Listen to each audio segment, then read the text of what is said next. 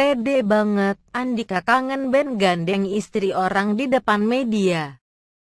Andika kangen band menggandeng seorang wanita cantik saat menghadiri sebuah acara di Kasawan. Tendean, Jakarta Selatan, saat disinggung mengenai wanita itu. Andika mengaku jika dia adalah teman kecilnya dan sudah memiliki suami. Ini teman kecil saya, itu ada suaminya di belakang. Tuh suaminya, kata Andika sambil menunjuk laki-laki yang ada di belakangannya. Namun mengapa dirinya yang menggandeng wanita itu sampai naik mobil? Tapi bukan suaminya sendiri? Iya kan dia cewek, takut nanti ketabrak-tabrak makanya saya gandeng, sahutnya.